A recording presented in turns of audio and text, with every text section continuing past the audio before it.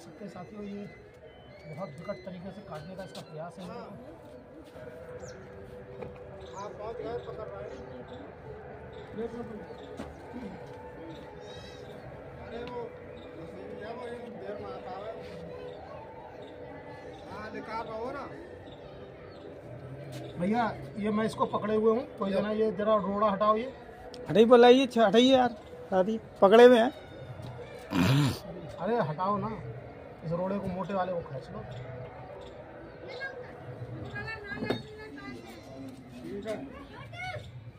सरिया ले लो कोई सरिया ले लो। हाथ क्यों डाल रहे हो? सरिया ले लो भाई मेरे। सरिया ला ली सरिया सरिया ले लो पेचकस ले लो ये देख रहे हो? अगर ग्लव्स ना होता तो ये तक हमारी लीला खत्म कर देती हाँ और तो कितना जहर छोड़ दिया इसने।